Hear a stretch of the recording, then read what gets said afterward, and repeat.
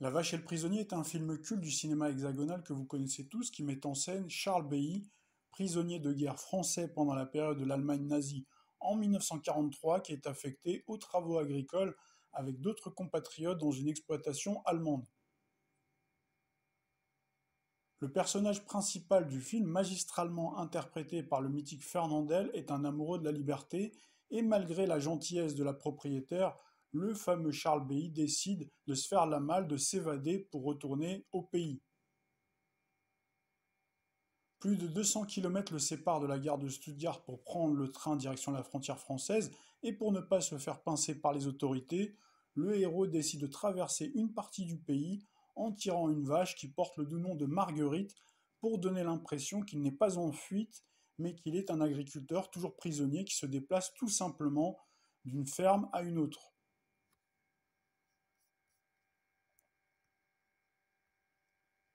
Son plan, qui ressemble au départ à une véritable farce, fonctionne en fin de compte à merveille puisqu'il parviendra sans trop d'encombre à atteindre la gare de Stuttgart.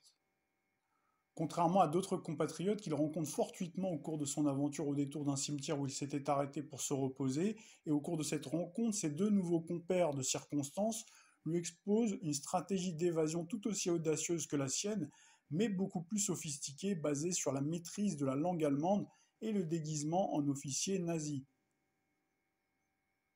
Un subterfuge qui marchera du tonnerre lorsqu'il s'agira de le tester au moment de la rencontre avec notre héros, mais qui s'avérera en définitive dans la pratique être un échec cuisant, puisque les deux Français déguisés en officiers nazis se feront arrêter par la Gestapo lors d'un barrage de contrôle. Contrairement à Charles Bay qui lui passera ni vu ni connu, Dupont tout est bon à travers les mailles du filet grâce à l'autre héroïne du film, Marguerite, sa courageuse vache laitière.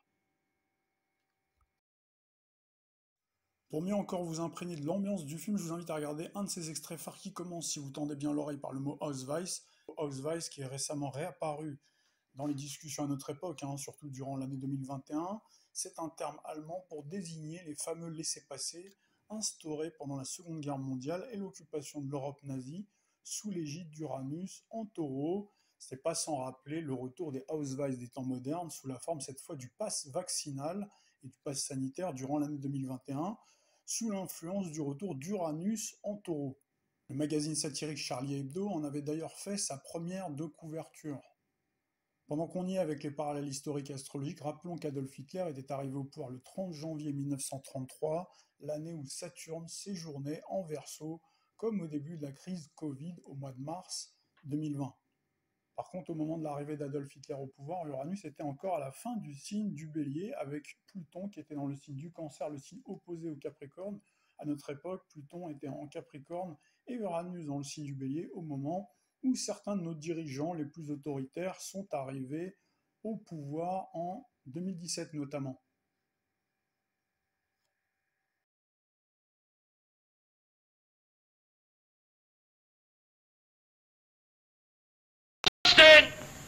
Oh merde. Je, je vais vous expliquer. Lundi 5 juin, l'Organisation mondiale de la santé, l'OMS et l'Union européenne ont publié un communiqué de presse conjoint dans lequel est annoncé ni plus ni moins que la création d'un pass vaccinal mondial et à vie. Moi je dis allons-y quoi. Pour ce faire, l'OMS s'associe à l'Union européenne et reprend son système de certification numérique Covid-19, donc ça c'est le pass vaccinal qu'on a connu, qui en gros va servir de base pour créer ce fameux pass vaccinal mondial. Alors, il y a plusieurs phrases qui font tiquer dans ce communiqué de presse, comme celle-ci, je cite. La première étape consiste à garantir que les certificats numériques actuels de l'Union européenne continuent de fonctionner efficacement. Donc ça, ça peut vouloir dire que l'Union européenne va réactiver le système de passe vaccinal en Europe et qu'on va devoir à nouveau flasher un QR code pour se rendre en vacances par exemple. Papier, s'il vous plaît. Un peu plus loin, le communiqué de presse précise que l'OMS n'aura accès à aucune donnée personnelle sous-jacente, dans ce passe vaccinal donc, qui resterait du domaine exclusif des gouvernements. Donc là, ça veut dire qu'il y aura bien des données personnelles dans ce pass et qu'il faut croire sur parole l'OMS quand elle nous dit qu'elles resteront privées.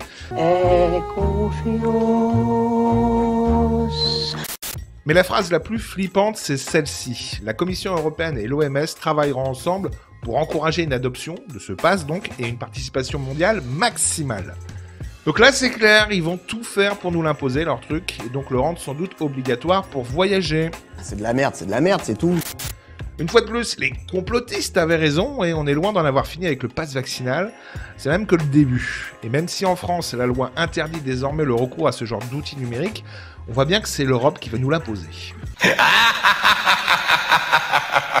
Nous venons d'apprendre que l'OMS valide la création d'un système de certification numérique mondiale inspiré du pass sanitaire. C'est bien inquiétant et l'Europe, bien vous vous en doutez, reprend. Hein. Qui veut encore du pass sanitaire nous dit Virginie Joron. Évidemment, la fin du pass de l'Union européenne en juin 2023 est fortuite. En juin 2023, l'OMS adoptera le système de certification numérique Covid-19 de l'Union européenne pour établir un système mondial qui aidera à faciliter la mobilité mondiale et à protéger les citoyens du monde entier contre les menaces sanitaires futures et futures, y compris les pandémies. Mais pourquoi veulent-ils absolument nous imposer ce pass sanitaire? Parce qu'on se souvient, le pass sanitaire avait été imposé pour obliger les gens à se faire vacciner contre leur avis, contre un choix libre et éclairé. Est-ce qu'ils voudraient faire en sorte que l'ensemble de la planète soit vacciné lors des prochaines pandémies contre le gré des populations? Sinon, ils ne pourraient plus voyager? Ah, c'est une première hypothèse. Et lorsqu'on sait qui finance l'OMS, il n'y a plus de doute. Il y a des relations entre la fondation Bill et Melinda Gates, hein, qui sont les gros donateurs, et la Gavi, qui sont toujours aussi pilotés par Bill Gates. Et l'OMS, on sait que Bill Gates est le plus gros influenceur de l'OMS et qu'il est lié à l'industrie pharmaceutique. Et là, on se pose la question, mais de quel droit ils font cela? Est-ce que les citoyens du monde sont au courant de ce genre de choses? Certainement pas. Est-ce que nous leur avons donné mandat pour faire ce genre de choses? Certainement pas. Et lorsque l'on regarde dans le détail ce pass sanitaire, c'est vraiment très inquiétant. Déjà, nous retrouvons les gens corrompus autour, Thierry Breton par exemple, a aussi ajouté que le certificat européen a non seulement été un outil important dans notre lutte contre la pandémie, on se demande comment, puisque le, comment dirais-je, le produit Pfizer ne protégeait ni de l'infection ni de la transmission. Donc Thierry Breton a des problèmes avec la science, mais il a également facilité les voyages et le tourisme internationaux. Donc on oblige à avoir un certificat européen qui ne sert strictement à rien, mais qui facilite. Ce sont des gens extrêmement dangereux. De ce côté, le docteur, celui qui dirige l'OMS, a souligné que le futur système de certification numérique mondiale serait fondé sur les principes d'équité, d'innovation, de transparence et de protection des données et de la vie privée. Un mensonge qui est d'ailleurs expliqué dans la suite. L'OMS n'aura pas accès aux données personnelles, ah oui, auxquelles seules les autorités auront accès. Vraiment, la protection de la vie privée est essentielle même si l'OMS pourra toutefois vérifier l'authenticité des certificats. C'est-à-dire qu'il vous protège, eh bien, en fin de compte, non, il ne vous protège pas pour des produits dont nous ne savons rien, qui ont été des produits expérimentaux et des produits dont nous ne connaissons pas les effets à long terme. Alors, ils se fient tous de ce certificat.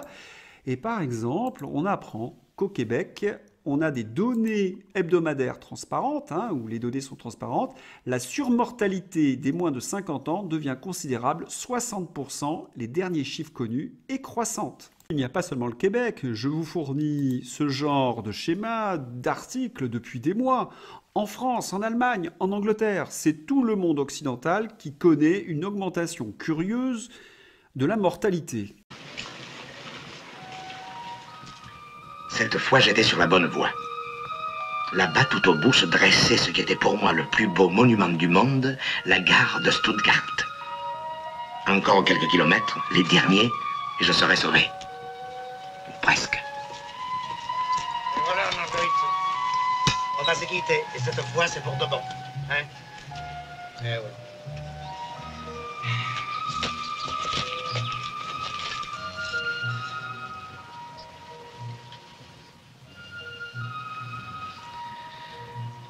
J'aurais jamais cru qu'on puisse s'attacher à une vache. Une vache. Écoute, Marguerite, je vais te jurer quelque chose. Tu peux me croire, je te jure que jamais plus je mangerai du veau. Après ce que tu as fait pour moi, c'est la moindre des choses. Et maintenant, tu peux me dire oh merde. Parce que j'en ai besoin, tu sais. Adieu. Adieu.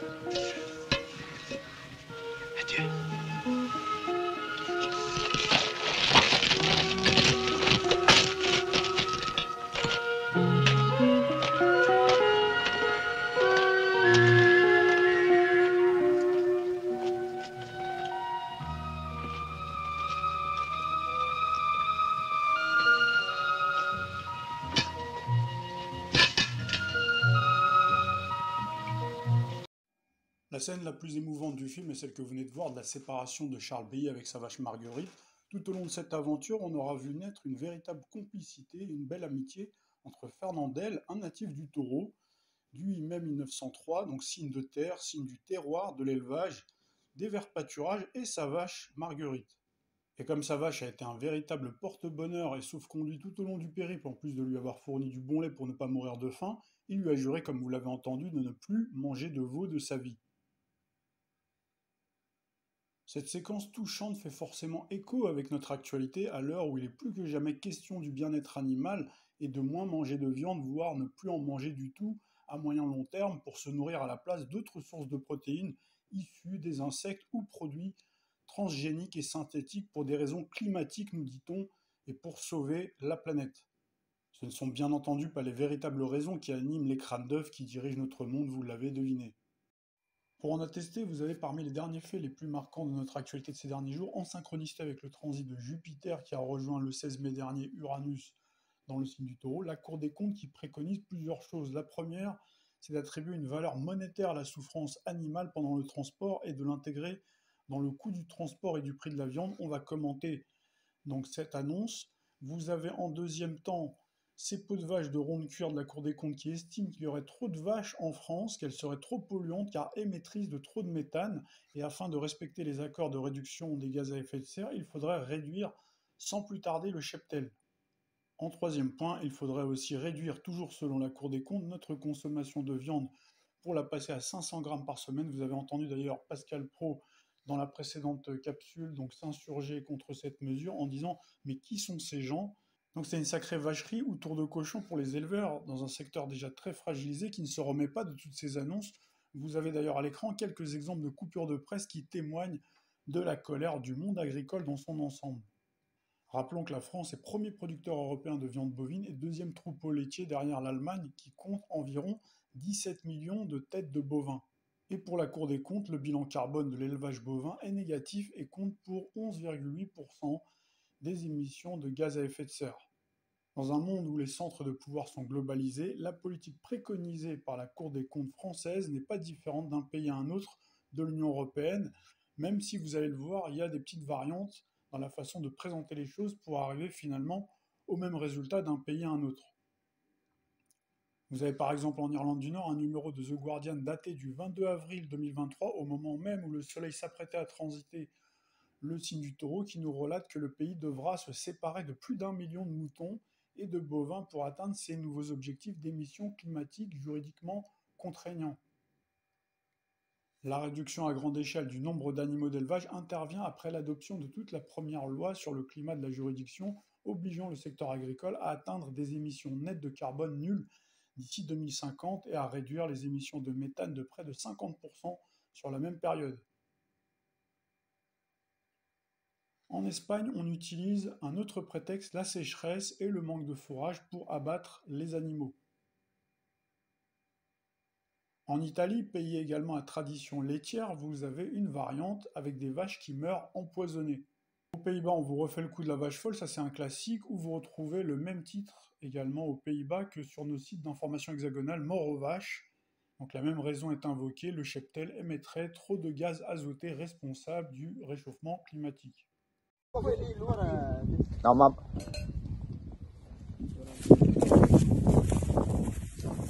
Ma no, ma non c'entra niente qui.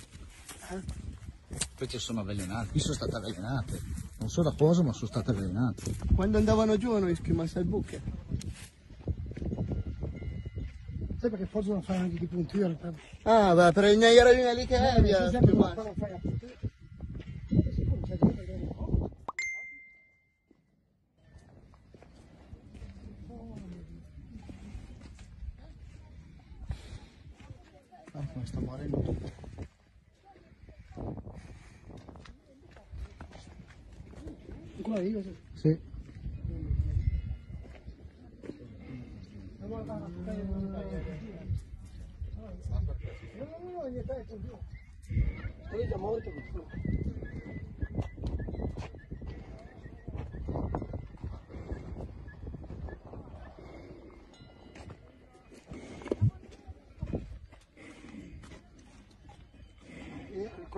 lá de ameaçar. Eu falo com brutto amore, perché mi cura, perché non cura. Mi viene da piangere. Mi viene da piangere.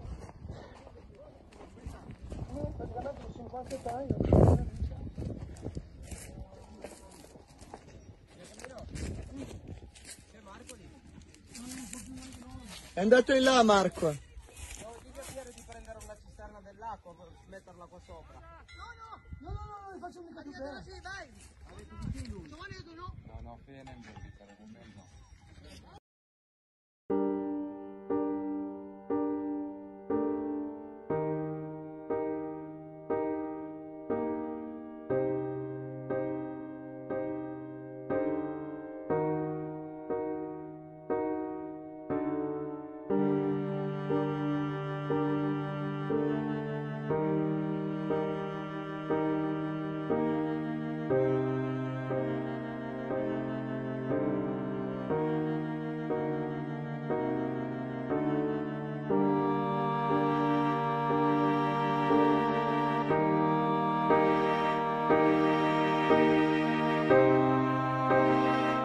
On va parler d'une histoire totalement dingue qui aurait pu être l'une des plus grandes catastrophes du Royaume-Uni. En effet, le gouvernement britannique avait envisagé d'exterminer tous les chats du pays pour lutter contre la propagation du Covid-19.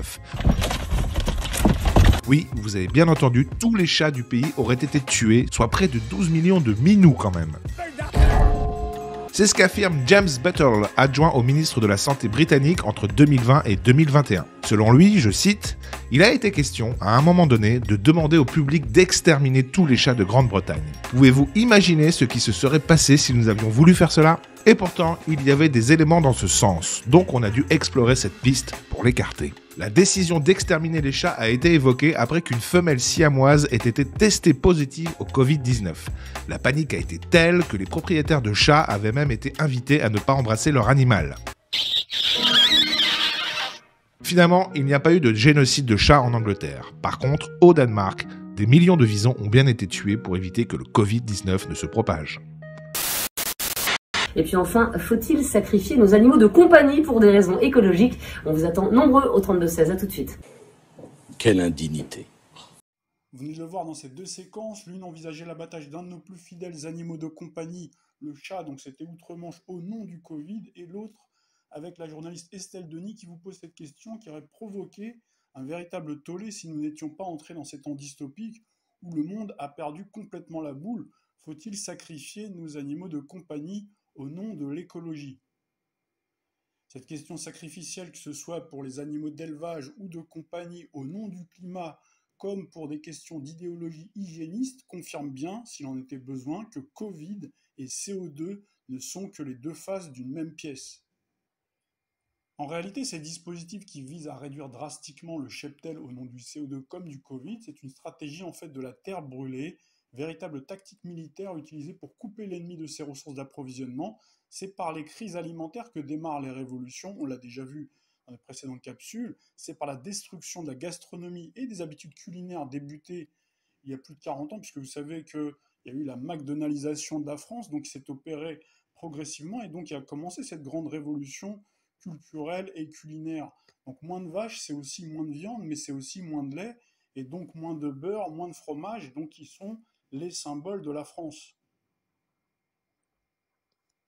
Au-delà du caractère purement symbolique de cette guerre souterraine menée par la plutocratie, donc représentée dans le zodiaque par Pluton, on l'a suffisamment expliqué dans notre vidéo d'introduction, donc Pluton, le maître des enfers des mondes souterrains, donc il mène cette guerre donc euh, de façon subreptice, de façon souterraine, avec différents masques. Hein. vous vous souvenez du fameux masque donc d'Hadès. Donc là, forcément, sur un plan beaucoup plus, je dirais, palpable, vous allez forcément avoir, et c'est attendu, des tensions et des pénuries beaucoup plus importantes à l'avenir sur l'ensemble de la chaîne alimentaire. On trouve bien encore une fois l'impact d'Uranus en taureau, donc cette fois-ci agrémenté de Jupiter, donc Uranus en taureau, comme à l'époque du milieu des années 30, et notamment à partir du 10 mars 1939, où avait été mis en place en France le ministère du ravitaillement et du rationnement. Quelques semaines plus tard, à partir du 14 mai 1939, sous un soleil dans le signe du taureau, nous avions un décret qui était édicté pour rationner les produits alimentaires de base, débutait ainsi cette politique des tickets de rationnement sous l'égide de Pluton qui était à la fin du signe du cancer, qui était autour de 29 degrés et des poussières. Or, à notre époque, nous allons retrouver Pluton, donc il va revenir dans le signe du Capricorne à partir du 10 juin prochain, puisque vous savez qu'il fait sa rétrogradation dans le signe du Verseau. Et donc on va retrouver Pluton à 29 degrés et des poussières du signe du Capricorne.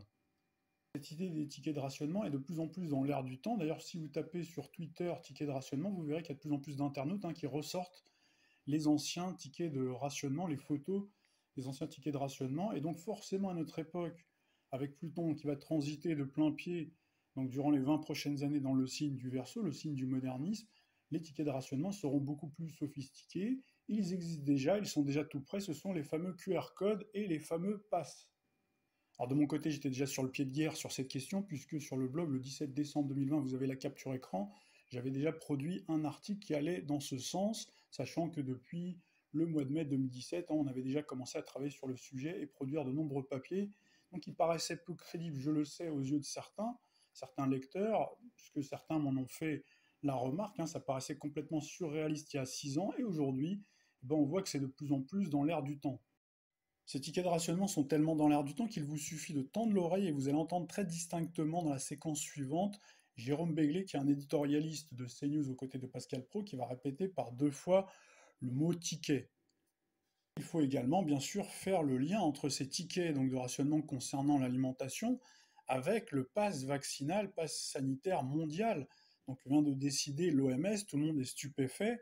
Ceux qui ont suivi le blog et ceux qui sont allés également sur Odyssée, qui m'ont suivi régulièrement, ne doivent pas normalement s'étonner puisqu'on avait parlé de cette stratégie du stop and go. Et donc on avait expliqué qu'il y avait cette stratégie donc, qui permettait effectivement de temps en temps de relâcher la pression, d'enlever certaines mesures, mais de revenir avec d'autres mesures supplémentaires, c'est-à-dire de faire un amalgame avec d'autres mesures et surtout de passer par une autre fenêtre pendant ce temps-là. Donc là, vous voyez qu'on parle beaucoup plus du climat, qu'on parle beaucoup plus de l'écologie, c'est-à-dire l'autre volet, l'autre face de la même pièce que le caractère sanitaire. C'est-à-dire on a enlevé la pièce sanitaire pendant quelques temps, donc on a l'impression qu'on est retourné à la vie d'avant, alors qu'en fait pas du tout. En sous-main, ils ont continué à œuvrer pour faire avancer l'agenda mondial le nombre de grammes de viande que nous devons mais manger. on aura des tickets. Et, et bien, il y en a que nous devons mais manger. on aura des tickets. Et, bien, il y en a un Lundi dernier, France 2 a invité un témoin de la violence sociale qui règne dans le pays, un de nos compatriotes qui exposait ses grandes difficultés à nourrir ses quatre enfants en achetant des paquets de pâtes. Cet homme, c'est évidemment Bruno Le Maire. J'essaye d'être juste, de faire attention à ce que les prix baissent pour le consommateur, parce que j'ai moi-même une famille nombreuse, j'ai quatre enfants à nourrir, et je paye beaucoup de prix de paquets de pâtes. Maintenant, il sait plus où se mettre, ce connard. Ma rémunération, elle est totalement euh, transparente. combien? J'ai c'est 7450 euros net par mois. Et ce qui est surprenant, effectivement, c'est que Expliquez-nous. Bah, c'est- Expliquez-nous. Bah, Je sais pas, me demande pas comment marche l'économie. je paye euh, mon alimentation, je paye mon loyer, je fais mes courses. Parce que la vraie vie, oui, je la connais. c'est un mensonge. Vous vous rendez compte le pays dans lequel nous sommes? Vous avez la Cour des comptes qui donne ses injonctions pour nous dire le nombre de grammes de viande que nous devons mais manger. attends, on aura des tickets. Et, Mais et bien, aura des il y a- tickets par il y en a un autre qui veut qu'on prenne simplement l'avion une fois par an. Mais qui sont ces gens? Oh, c'est l'esprit de Davos. Le discours que défend de Grotefazet, le livre de Klaus Schwab, c'est aussi un discours écologique. Comme par hasard. C'est vrai que la question alimentaire est stratégique, c'est la raison pour laquelle on a souvent insisté, que ce soit sur le blog ou sur la chaîne, hein, sur cette question. Et c'est vrai que dans la situation dans laquelle nous sommes, on est tous donc très concernés par cette question-là, et bien au-delà de la question éthique, philosophique, spirituelle ou religieuse, de ce choix très personnel et cette liberté individuelle de manger ou non de la viande. Donc en temps normal, ça ne regarde que chacun d'entre nous. Donc chacun d'entre vous, en votre âme et conscience, vous décidez selon vos goûts, vos habitudes alimentaires, votre éducation et votre confession de manger ou pas de la viande. Mais malheureusement, on a basculé dans un tout nouveau paradigme. On veut vous imposer un choix donc qui n'est pas le vôtre, on veut vous l'imposer au forceps par différentes stratégies de manipulation. D'ailleurs, en prenant même comme référence le Mahatma Gandhi, alors que lui-même, donc le Mahatma Gandhi, qui était de confession hindoue, végétarien, très pieux, qui priait la vache sacrée indienne, hein, donc qui avait refusé, après l'indépendance de l'Inde, dans un discours du 25 juillet 1947, donc qui était resté très célèbre, d'imposer l'interdiction d'abattre et manger la vache au nom de la tolérance, notamment vis-à-vis des personnes, donc de la population indienne qui était de confession musulmane. Cette position lui a d'ailleurs coûté la vie puisqu'il a été assassiné par des extrémistes religieux le 30 janvier 1948 sous un soleil en verso. C'est vrai qu'il avait reçu de nombreux courriers de leur part, donc pour justement imposer cette interdiction de manger de la viande. Et lui avait refusé, et donc voilà, ça lui a coûté la vie. On aura l'occasion de revenir très prochainement sur ce sujet, puisqu'il y a différentes associations et ONG, type Extinction Rébellion, donc des associations qui se réclament de l'écologie, qui sont souvent des mouvements radicaux, donc qui sont très souvent euh, financés par la plutocratie, et donc qui sont endoctrinés, donc qui prônent la désobéissance civile, et qui empruntent en fait les mœurs que l'on retrouve chez les hindouistes extrémistes orthodoxes, voire pour ne pas dire plus, donc plutôt extrémistes. Les plus anciens d'entre vous se souviendront peut-être qu'on avait fait ce rapprochement entre les manifestations qui étaient organisées par Extinction Rébellion et d'autres associations annexes, donc qui se présentent hein, comme écologistes, qui avaient pris d'assaut certains quartiers de Paris, notamment certains centres commerciaux. Ils avaient adopté donc une posture hindouiste, bouddhiste, en tout cas qui faisait référence au Mahatma Gandhi. Et comme par hasard, ça tombait le 5 octobre 2019, c'était deux jours après le 150e anniversaire de la naissance du Mahatma Gandhi. Et donc ça faisait référence à la couverture de The Economist 2019 paru à la fin de l'année 2018.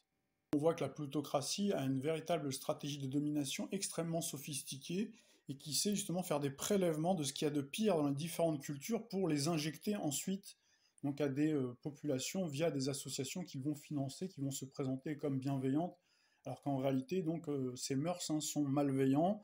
Donc là, ils prennent des extrémistes, hein, des mœurs extrémistes, et puis ensuite ils les injectent. Donc là, on a un mélange, en fait, finalement, entre ce nouveau paradigme, hein, donc le paradigme écologique du climat, mélangé avec les questions hygiénistes, sanitaires, donc là, qui nous fait basculer dans ce nouveau paradigme. On a ce modèle, finalement, communautaire, collectiviste et néo-communiste vert et blanc qui s'impose à nous tous, mélangé justement avec également donc les mœurs extrémistes du côté des religions hindouistes. Donc ce qui fait un cocktail explosif et véritablement mortifère, on est même au-delà du fameux verre pastèque à l'extérieur comme le verre de l'écologie, avec un liseré blanc comme la blouse blanche des hygiénistes, puisqu'on a aussi hein, ce fameux rouge pastèque à l'intérieur comme la couleur du drapeau communiste, et donc on peut rajouter par-dessus une autre couleur, donc là vous pouvez prendre la couleur pourpre par exemple, pour ajouter justement donc ces mœurs extrémistes du côté de l'Inde. Vous l'avez bien compris, il y a beaucoup d'hypocrisie, il y a un double discours, il y a beaucoup de perfidie dans tout ça, puisqu'on nous dit qu'on veut lutter à la fois contre le réchauffement climatique, contre la souffrance animale et même taxer la souffrance animale, alors qu'on n'hésite pas à sacrifier et à pointer du doigt les animaux de compagnie ou d'élevage comme responsables du CO2 et de véhiculer une maladie. Donc en l'occurrence ici c'était le Covid, demain ça peut être autre chose.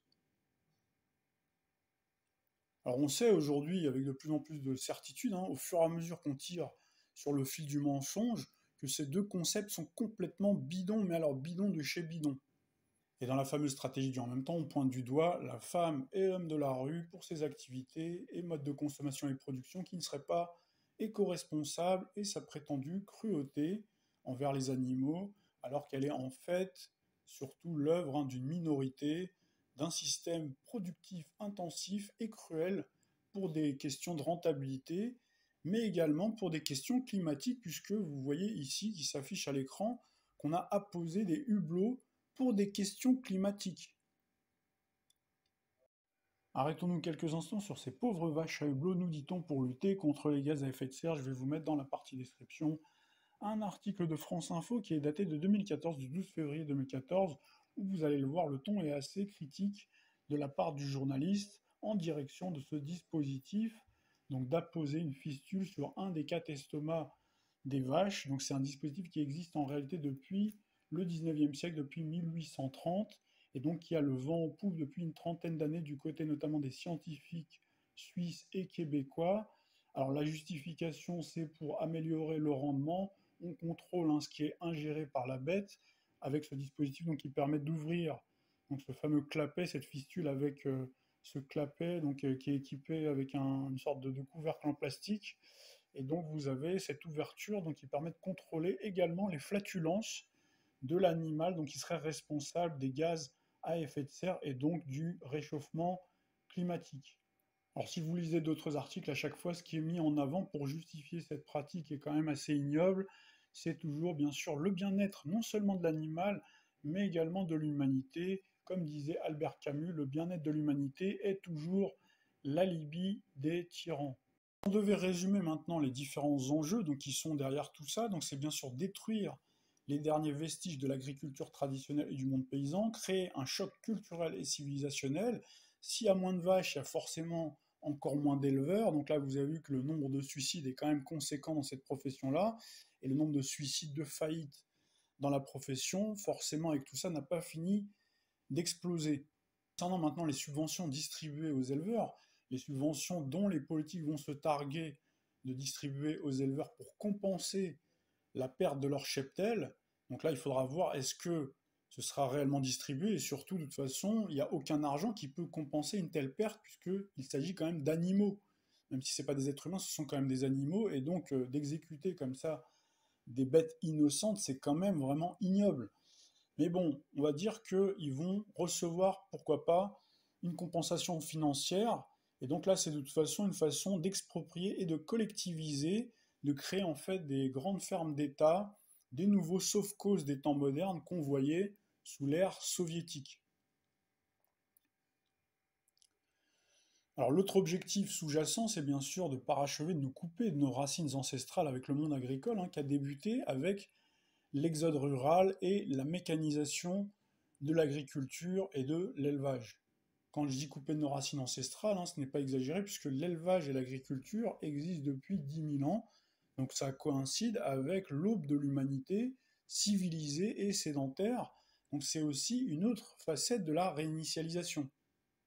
C'est le grand remplacement de nos valeurs ancrées depuis la nuit des temps pour transformer l'être humain, pour en faire un être humain, si on peut encore appeler ça un être humain, sans repère, complètement désarticulé, un artefact qui se confond avec les nouvelles technologies, prélude au transhumanisme. Alors concernant cette polémique autour du CO2, méthane, dioxyde d'azote et autres gaz à effet de serre qui seraient soi-disant responsables du réchauffement climatique anthropique, restez bien jusqu'à la fin de la vidéo. Une piqûre de rappel vous sera administrée avec bien entendu votre libre consentement pour vous éclairer ou compléter votre éclairage déjà bien avancé sur cette question. Au regard de tout ce que l'on vient de dire, et il y aura encore tant à dire sur tous ces sujets, on est très loin de l'état d'esprit originel qui a certainement animé Henri Verneuil, le réalisateur du film La vache et le prisonnier, qui avait tout mis en œuvre pour bien traiter les vaches durant le tournage. Le cinéaste français avait en effet fait passer un casting à plus de 600 vaches pour en trouver deux identiques afin que pendant que l'une tourne, l'autre se repose et assure sa doublure. Et à la fin du tournage du film, la vache était normalement destinée à l'abattoir, mais le réalisateur français s'y était fermement opposé. Marguerite avait pu finir paisiblement ses jours dans une prairie.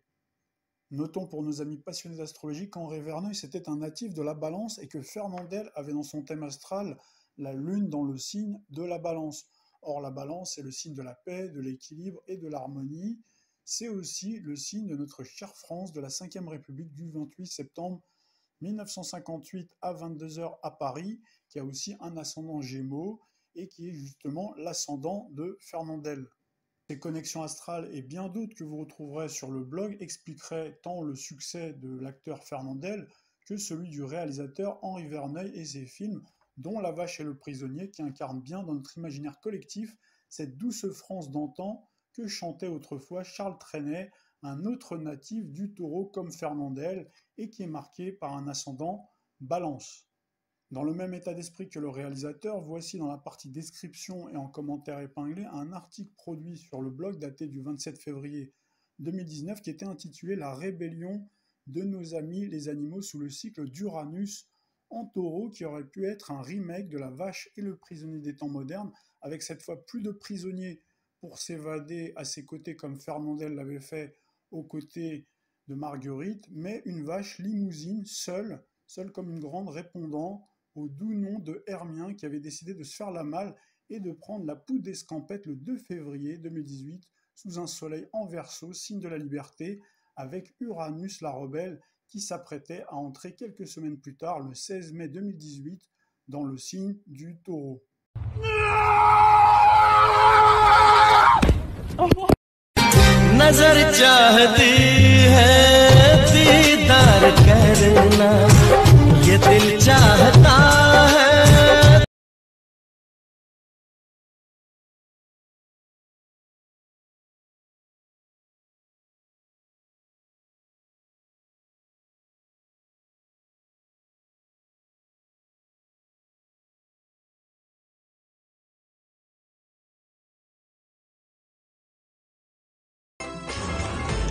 बराबरी नको करू.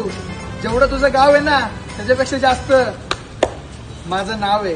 अख्खं मार्केट आता आपलं आहे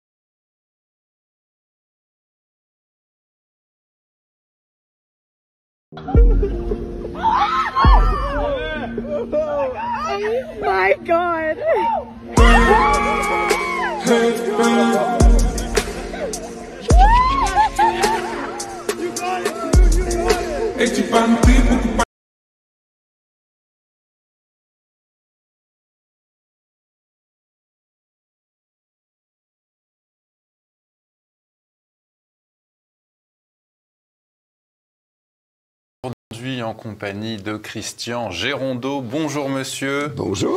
Christian Gérondeau, vous êtes ingénieur polytechnicien, vous travaillez euh, sur les questions environnementales depuis environ euh, une dizaine d'années. Alors vous avez publié déjà plusieurs livres sur le sujet, les 12 mensonges du GIEC, la religion écologiste, le dernier, le voici, le climat par les chiffres, sortir de la science-fiction du GIEC, et puis en bandeau, on a en dessous 30 ans de mensonges. Ces mensonges, on va les aborder aujourd'hui avec vous, Christian Gérondeau. Le GIEC, alors justement, a publié en août 2021 son sixième rapport, un document qui explique qu'en matière climatique, tout s'est aggravé depuis le précédent rapport qui avait été euh, écrit en 2015. Alors, est-ce que euh, nous autres, hommes, euh, l'humanité file-t-elle tout droit en enfer? Bah Non, pas du tout, parce que le GIEC, effectivement, a titré son dernier rapport, confirmé encore l'an dernier, le réchauffement s'accélère. Et quand on regarde la courbe de la température terrestre, je ne sais pas si on peut euh, la montrer maintenant, depuis 2015, depuis le dernier rapport du GIEC, la température de la Terre a baissé. Alors, évidemment, quand on dit ça, les gens disent mais, vous délirez. Oui, c'est pas moi qui le dis, c'est les satellites, c'est les réseaux d'observation, c'est les réseaux d'observation qui alimentent le GIEC. Donc le GIEC sait parfaitement que la température depuis 2015 a tendance à baisser. Hmm. Et il affirme, il écrit le contraire. Et dans le même ordre d'idée, il vous écrit que la mer va monter de 15 mètres. Elle monte de combien la mer? Le GIEC le dit, de 2 mm par an. Alors vous vous rendez compte, au bout de 10 ans, vous avez 2 cm. Au bout de 50 ans, vous aurez 10 cm. Il y a quand même une grosse différence entre 10 cm et 15 mètres. On est donc dans un domaine où cette autorité officielle, émanation des Nations Unies, ment effrontément. Et si elle le fait, c'est que ce n'est pas du tout un organisme scientifique. C'est un organisme idéologique. Et le titre même le montre, parce que le vrai titre en anglais, c'est groupe intergouvernemental du changement climatique. Et en français, c'est devenu groupe d'experts. Bon, c'est pas du tout des experts, ce sont des idéologues qui ont pris le pouvoir depuis 30 ans, et c'est pour ça que j'explique, il y a 30 ans qu'on nous ment. En réalité, il n'y a pas du tout de réchauffement catastrophique. Il y a des événements météo qui se produisent sur la planète tous les jours. La seule différence avec autrefois, c'est qu'autrefois, quand il y avait une sécheresse, une inondation, des chutes de neige en Californie, comme il y en a eu il n'y a pas longtemps, ou en Nouvelle-Zélande, on ne le savait pas. Maintenant, on sait tout tout de suite, mais je rassure ceux qui nous écoutent, la météo, elle varie comme elle a toujours varié. Pas plus ni moins qu'avant. Oui, mais certains vous diront que le réchauffement climatique a un effet sur les glaciers, que donc ces glaciers fondent et qui refroidissent les océans, et que c'est ce refroidissement des océans qui aura un effet euh, plutôt à la baisse sur les températures. Oui, c'est ça. On vous explique que le réchauffement abaisse la température. on n'en est pas loin. Non, ce qu'il faut savoir, c'est que nous avons la chance de vivre dans ce qu'on appelle un optimum climatique. Si vous voulez, si on remonte euh, pas trop trop loin, mais aux, Romains quand même. Les Romains, c'était une période relativement chaude. Après, vous avez eu vers l'an 500 euh, un refroidissement avec d'ailleurs les invasions barbares. C'est pas par hasard. En l'an 1000, il y a eu un réchauffement, on appelait ça l'optimum climatique, c'est pour ça qu'on a pu faire les cathédrales, c'est pour ça que euh, les vikings ont été au Groenland, Groenland qui voulait dire terre verte. Et puis, à partir de 1350 et jusqu'en 1850, on a eu une période de froid mm. qu'on a appelée le petit âge glaciaire. La mer, du temps de Louis XIV, la mer gelait. Et, et, puis, nous avons cette chance, depuis 1800, 1850 à peu près, de vivre un réchauffement de 1 degré. Bon, rien du tout de catastrophique, mais c'est très agréable, cette période de réchauffement. C'est beaucoup plus agréable que du temps de Louis XIV, où il y a certaines années, il y a eu 2 millions de morts de froid et de faim. Alors là, vous allez faire euh, sauter au plafond euh, tous les écologistes euh, de tous bords, puisque vous dites que si la température du globe réchauffait, augmentait, ça permettrait aux Canadiens et aux Russes de Sibérie de cultiver leurs terres. Mais tout à fait, il n'y a aucun doute possible. Et puis, vous parlez de culture de la terre, et pour montrer à quel point le langage omniprésent, qui est un langage très négatif, est faux le, tout, ce mouvement du climat, euh, ce mouvement écologiste remonte à un événement majeur. Il y a 30 ans, à Rio, Rio de Janeiro, il y a eu un sommet de la Terre, le sommet de Rio. Qu'avait dit le grand organisateur? C'était un Canadien, s'appelle Maurice Strong. Exactement, Maurice Strong. il a dit nous allons à la catastrophe. Pas, du tout. L'écologie, c'était pas vraiment son sujet. C'était on va à l'apocalypse. D'ailleurs, il y aura bientôt un ou deux milliards d'êtres humains qu'on ne pourra pas nourrir. Alors j'ai un peu regardé les chiffres et, là je me suis dit, mais même j'étais étonné. En Inde, il y a 60 ans, il y avait trois fois moins d'habitants qu'aujourd'hui. Donc la population en 60 ans a triplé. La production agricole de céréales en Inde, pendant le même temps, a sextuplé. L'Inde est devenue exportateur de blé. C'est pour vous montrer que cette vision négative qui a toujours existé, elle est démentie par les faits, elle est démentie pour l'agriculture, mais elle est démentie pour le climat aussi. Un degré de plus que depuis 1850, bah, tant mieux. C'est absolument minime et je le répète, parce que ça, j'ai moi-même du mal à le croire, au cours des huit dernières années, la température moyenne de la Terre a baissé. Dans mon livre, il y a la courbe officielle que, bien entendu, le GIEC ne publie pas, puisque le GIEC dit que le réchauffement s'accélère. Alors, un degré supplémentaire depuis 1850, euh, sauf que le GIEC euh, évoque la perspective d'une hausse de 1 degré et demi supplémentaire de la température euh, du globe. Vous, vous dites que c'est une présentation malhonnête. Mais oui, c'est quand il parle, le GIEC parle toujours d'un degré et demi. Il dit dans 10 ans, 20 ans, on va avoir un degré et demi de plus. C'est un mensonge de plus. Parce que c'est un degré et demi par rapport à 1850. Mais comme on a déjà monté de 1 degré, virgule 1, c'est le chiffre du GIEC, ben ça fait plus que 0,4 degré. Mais bien entendu, si GIEC disait on va avoir une catastrophe pour une augmentation de 0,4 degré, il serait ridicule. Donc, c'est une autre manière de tromper que de toujours faire référence à 1850, mais je me demande pourquoi ils ne font pas référence à Louis XIV, parce qu'à ce moment-là, ils auraient trouvé peut-être que c'était 3 degrés d'augmentation. Hmm. En réalité, les prévisions les plus pessimistes du GIEC, auxquelles je ne crois pas, c'est 0,4 degrés d'augmentation, pas 1 degré, 5. Alors, le GIEC explique par ailleurs qu'une réduction euh, du fameux dioxyde de carbone, le CO2, limiterait euh, le changement euh, climatique, mais en fait, de combien l'humanité peut-elle réduire ses émissions de gaz à effet de serre? C'est quoi le, la marge possible? Bah Écoutez ça, vous ne trouverez pas ça dans les rapports du GIEC. Dans le rapport du GIEC, la seule chose qui compte, c'est le communiqué de presse, il n'y a pas de chiffres. Mais alors les chiffres, je vais vous les donner. Et vous allez voir quelque chose de très curieux. Dans l'atmosphère, il y a 3200 milliards de tonnes. De CO2. De CO2. Vous prenez un pays comme la France, nous émettons 0,16 milliards de tonnes. Vous faites le rapport des deux. Ce que nous émettons chaque année, c'est un 20 millième du CO2 atmosphérique. Est-ce qu'on peut vraiment avoir une influence quand on est responsable de 1 20 millième, et même l'Europe tout entière, de 1 2 millième? Bien entendu, non. Mais ce rapprochement, il n'est jamais fait.